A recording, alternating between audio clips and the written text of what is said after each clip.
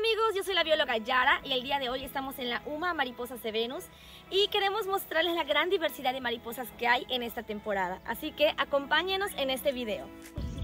Amigos, pues vamos a estar observando algunas mariposas que están volando el día de hoy y pues vamos a hacer un acercamiento con la cámara para que ustedes las vayan observando. Esta mariposa que está volando es una mariposa de la especie Anaea troglodita aidea. También se le conoce como mariposa hoja seca o mariposa hoja de otoño, porque si ustedes se fijan, su camuflaje es parecerse a una hoja seca, por eso tiene esa coloración como café, color marrón, y por dentro las alas son de color rojo.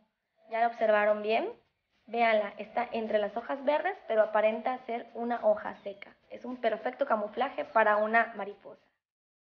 Ahorita vamos a seguir caminando y observando más mariposas de otras especies. Ahí se fue volando.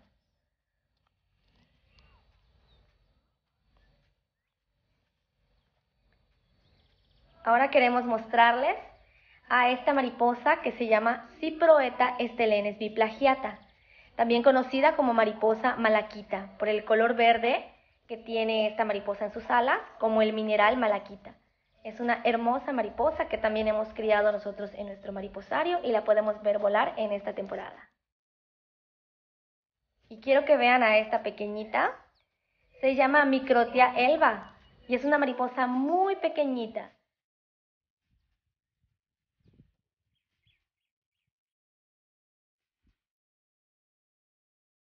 Ahorita estamos haciendo un acercamiento, pero en realidad es una mariposa muy, muy pequeña. Vean cómo aletea.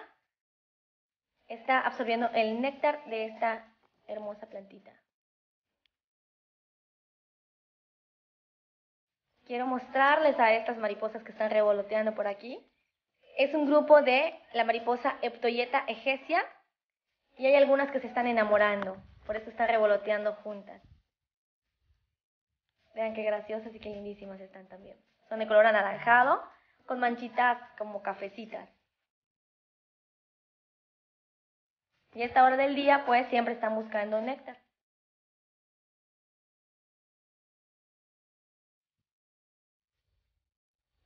Voy a acercar más la cámara para que puedan observarlas. Ahí está. Muy linda mariposa. Ahora les vamos a mostrar otras mariposas que también tenemos por aquí.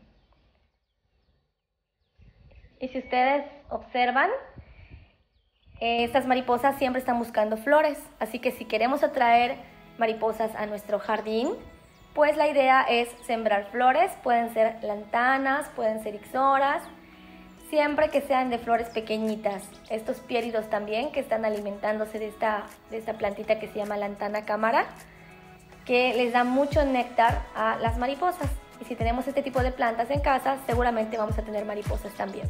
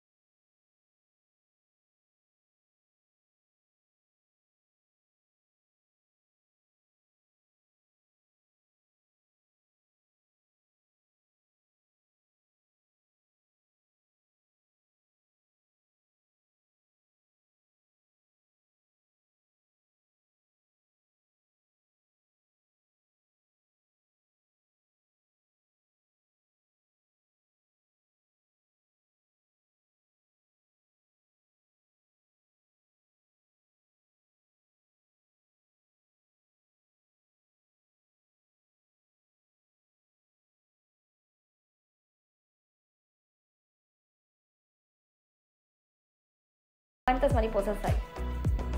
La chaya silvestre también atrae muchísimo a las mariposas, les brinda mucho néctar y vemos diferentes especies que están alimentándose de esa planta silvestre. Es muy espinosa, así que no traten de agarrarla. El nombre de la mariposa que están viendo ahorita es Anartia jatrofa y es una mariposa como blanquita con colores amarillitos. Nosotros en la UMA Mariposa Venus siempre procuramos sembrar al aire libre eh, plantas silvestres que le den mucho néctar a las mariposas que están viviendo en libertad. Para que de esa manera pues ellas puedan encontrar alimento, puedan encontrar refugio en nuestra UMA, pero siempre estando libres. Ahorita quiero mostrarles a una mariposita que es de color oscurito, aquí está. Es un espérido y los espéridos se caracterizan por ser, tener el cuerpo robusto, tienen también las antenas en forma de gancho. Es una característica de esta familia de mariposa. Hacemos un acercamiento con la cámara para que puedan ver, porque si nos acercamos nosotros, las espantamos. Entonces la toma tenemos que hacerla de lejitos, pero acercando la cámara. Amigos, muchas gracias por acompañarnos en este video. Síganos en nuestras redes sociales y en nuestro canal de YouTube Evenus Planner. Compartan este video con toda su familia, con sus amigos y denle like si ustedes también creen que todos debemos preocuparnos por cuidar la naturaleza. Nos vemos en el siguiente video y recuerden que entre todos podemos cuidar el planeta. ¡Adiós!